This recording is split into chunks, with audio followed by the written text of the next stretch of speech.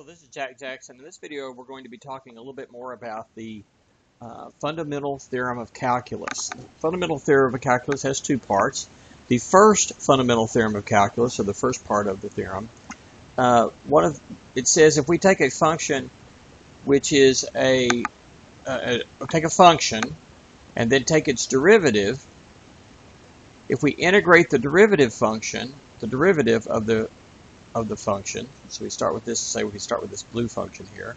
Take its derivative, the red one, to get a new function, f of x, little f of x, which is big F prime of x. And we integrate it from a to b, it turns out to be the total change in the, the uh, this function here, the antiderivative of the thing we're integrating.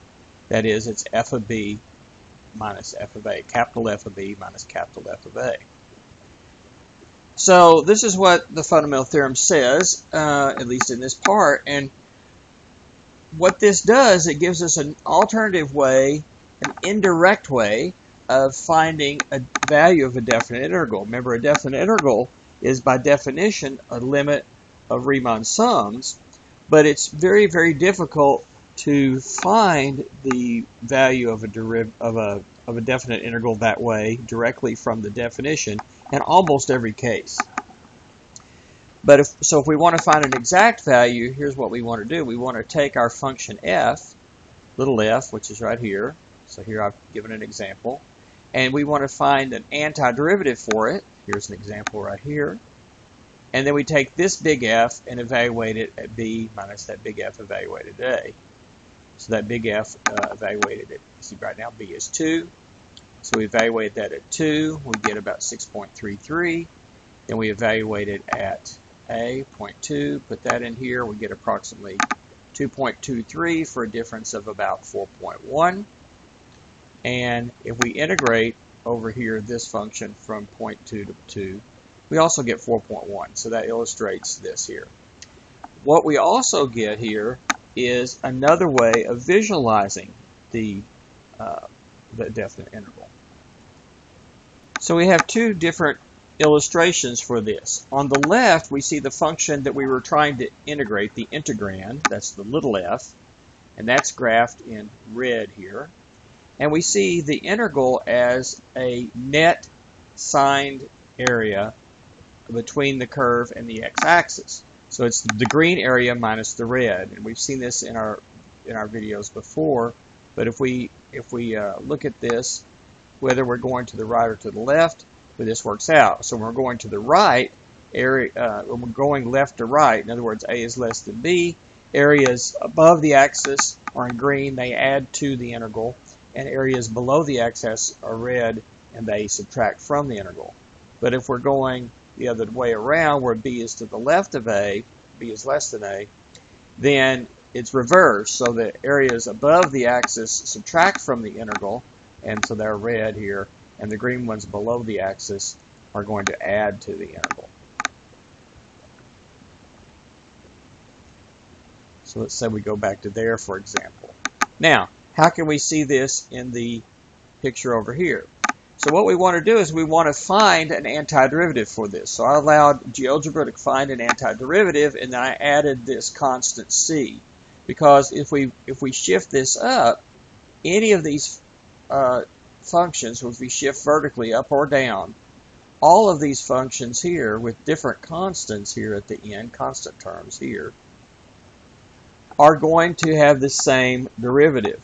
If you think about it a minute, they have the same shape at a particular point, so they're going to have the same slope. So for example, right here, that's if we drew the tangent line and shifted it, it would be the same slope on that tangent line because the tangent line would just be shifted up, up and down, but it wouldn't be rotated, so it would have the same slope.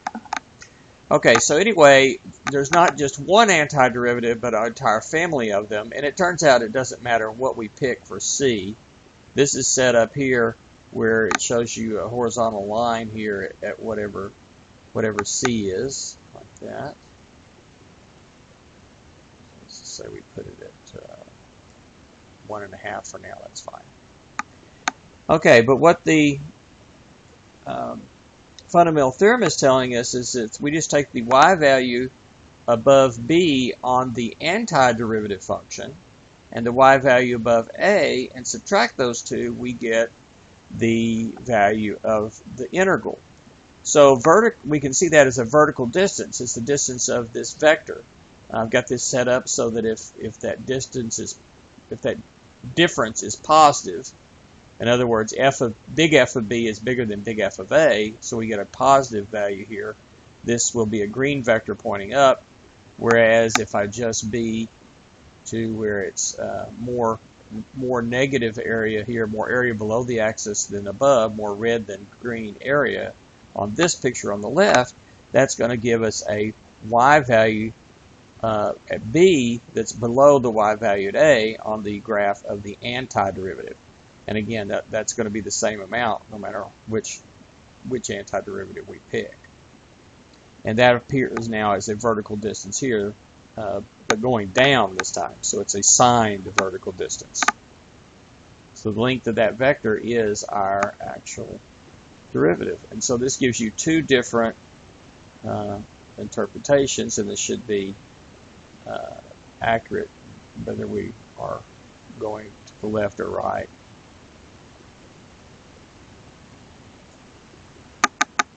So this gives you two different visualizations of that integral. If we're looking at the original graph of the integrand, it is a net signed area, green area minus red area on the graph on the left.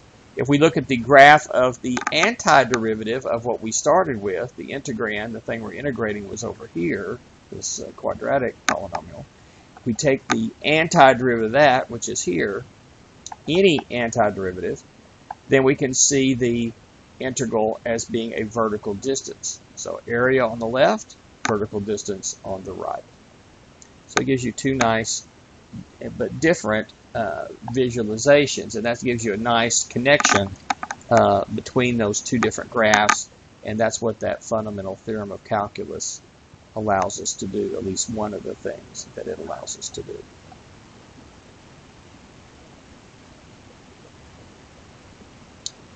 One of the things that we will be doing now when we want to find these values exactly is we have to be able to come up with this formula for the antiderivative given the formula for the derivative. Of course, first we need to be able to go the other way, go forwards before we go backwards.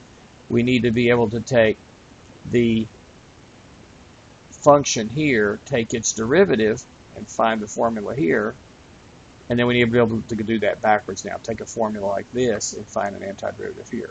So then there will be some, some amount of time, a couple units in my class where we spend some time talking about how we go back and forth with those formulas. But if we can ever get our hands on the formula, then it's pretty easy to find the uh, definite integral exactly. We just take this formula here, plug in the top number, get a number out, plug in the bottom number in place of x, get a number out, subtract.